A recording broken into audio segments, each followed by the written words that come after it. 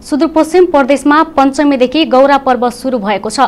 शुक्ल पक्षको पञ्चमीका दिन महिलाले बिहानै स्नान गरी घर घरमा बिरुडा राखेका छन्।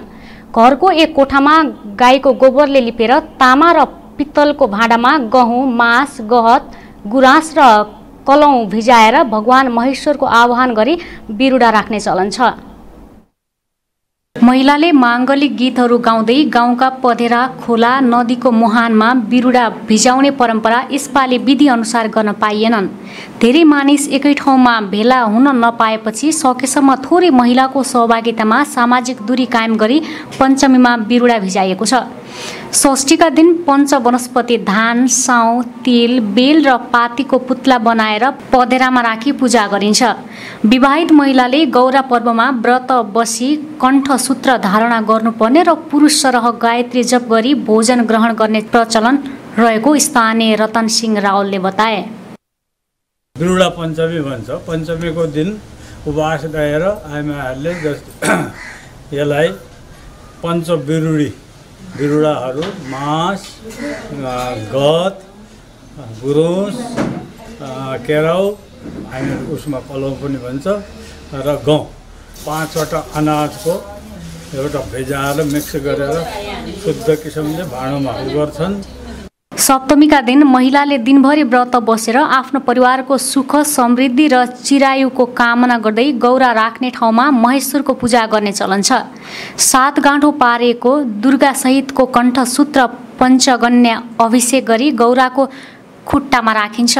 अष्टमीका दिन रङ्गीचङ्गी कपडामा सजिएकी महिलाले गौरा राख्ने ठाउँमा पञ्च वनस्पतिले बनाएको गौराको प्रतिमालाई रेशमी कपडाले सिँगारेर महेश्वरको प्रतिमासँगै बाहिर ल्याएर आसनमा राखी आठ अध्ययन र आठ खण्ड भएको अठेबाली परम्परागत फाग गौराको गीती कथा गाउँदै पूजा गरेर गौरा र महेश्वरलाई शिरमा राखी नाच्ने गर्दछन्। तर यस वर्ष कोरोनाका कारण घरमै गौरा मनाउनु परेको स्थानीय भुवनेश्वरी रावलले बताइन्। कोरोनाको कारणले हामीले औ साल चाहिँ हामी धुमधाम गरेर बाहिरमा आउने गर्थ्यौँ होइन। अहिले कोरोना कोभिड नाइन्टिन उसको कारणले चाहिँ घरमै मनाउने शान्तपूर्वक आफ्नो सुरक्षित आफ्नो सुरक्षित भएर घरमै मनाउने कार्यक्रम राखेको हुनाले सामान्य हाम्रो अन्टीहरू आउनु भएको छ। पहिला चाहिँ रमाइलो हुन्थ्यो है धेरै रमाइलो हुन्थ्यो। त्यो योपालि चाहिँ अलि बस्नु पनि परेको छ मान्छेलाई डर छ है कोभिड यो कोरोनाको डरले चाहिँ ठिकै भइरहेछ त्यस्तो केही छैन। यसै अवसरमा देउडा र ठाडो खेल खेलेर रमाइलो गरिन्छ।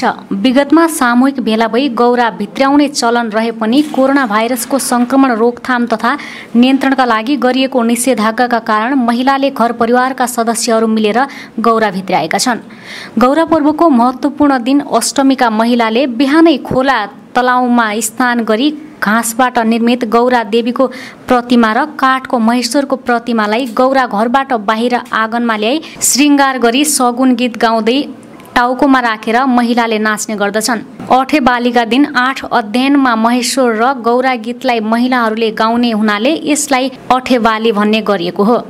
अठे बालीमा आफ्ना सन्तानको आयु बढोस् भनेर बिरुडाले शिर पुज्ने चलन रहेको स्थानीय गङ्गा रावतले बताइन्। आज बिरुवा भिजाउने भए होल नौला गएर भन्दा नौला थाहा बुझे पहाड त नौला हुन्थ्यो अब तपाईँलाई त्यसलाई तुलसीका थाना बनाउनु अब पुर्की कुन्नु नाम जाने भए मन्दिर भगवतका मन्दिर जान्थ्यो र अब त जिउ हुन्छ कोरोना आवेल अब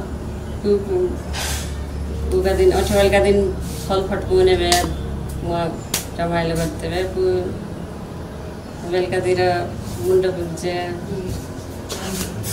सब छोराछोरीको आयो बडो पार्वतीले शिव पति पाए झैँ अविवाहित युवती शिव झैँ पति पाउन भनी व्रत बसेको अठे बालिका दिन गौरा देवीको प्रतिमालाई टाउकोमा राखेर नचाउने गर्दछन् भने पुरुषहरूले धुमारी ढुसको ठाडो खेल र देउडा खेल्ने गर्दछन्।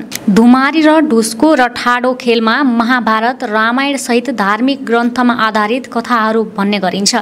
बिरुडा भिजाएर सुरु गरे गौराको विसर्जन नहुँदासम्म महिला र पुरुष सबैले ठाडो खेल र देउडा खेलेर धुमधामसँग मनाउने गर्दछन्।